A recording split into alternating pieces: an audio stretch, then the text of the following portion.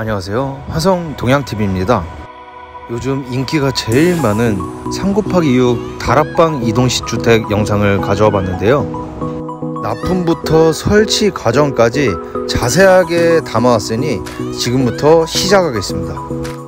다락방 최대 높이가 3600 정도 나오는 제품인데요.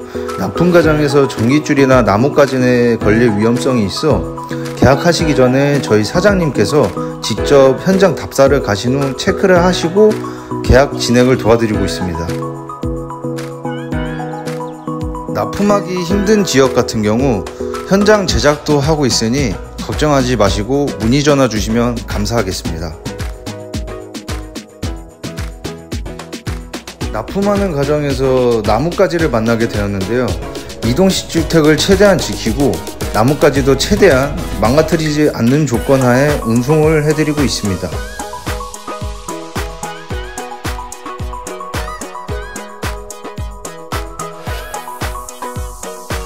다행히도 장애물도 많이 없고 길도 넓어 편안하게 운송을 해드릴 수 있었습니다. 이동식 주택 하부의 고위 주축돌 같은 경우 저희 동양 컨테너에서 서비스로 진행해드리고 있습니다. 고객님께서 현장에 도착을 하지 않으셔서 일단 대기 중입니다. 고객님께서 현장에 도착하셔서 하차하는 영상인데요. 원하시는 자리에 하차를 해야 돼서 저희가 마음대로 할 수 없는 부분입니다.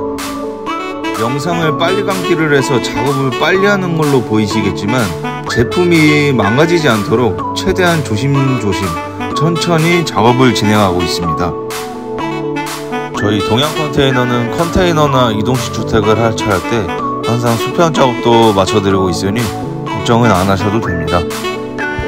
수평 작업도 마치고 하차까지 마무리가 돼서 지게차가 나와야 되는데 뒤쪽에 보시면은 평탕 작업을 안 한 땅이어서 지게차 바퀴가 빠지게 되는 상황인데요.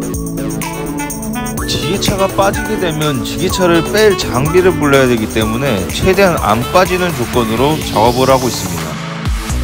지게팔 길이가 2800 정도 나와서 빠져나올 공간이 없어 지게팔을 이동식 주택 안에 해체를 한 후에 지게차만 안전하게 빠져나옵니다. 이동식 주택 안에 해체한 지게발을 사람 힘으로 직접 빼내고 다시 지게차에 합체합니다. 크레인으로 작업을 하면 쉽게 작업이 가능하지만 비용적으로 많이 부담되실까봐 최대한 지게차로 하차해드리고 있습니다. 모든 현장이 작업이 쉬운 곳이면 좋겠지만 최악의 조건에서도 수월하게 해결해 나가는 동양 컨테이너입니다. 운송과 하차하는 방법에 대해서 영상으로 설명을 해드렸는데요. 지금부터 외부, 내부 소개 영상을 보시죠. 외부 thermo siding은 주문하신 고객님께서 zinc색 한 가지 색상으로만 부탁하셔서 시공을 해드렸고요.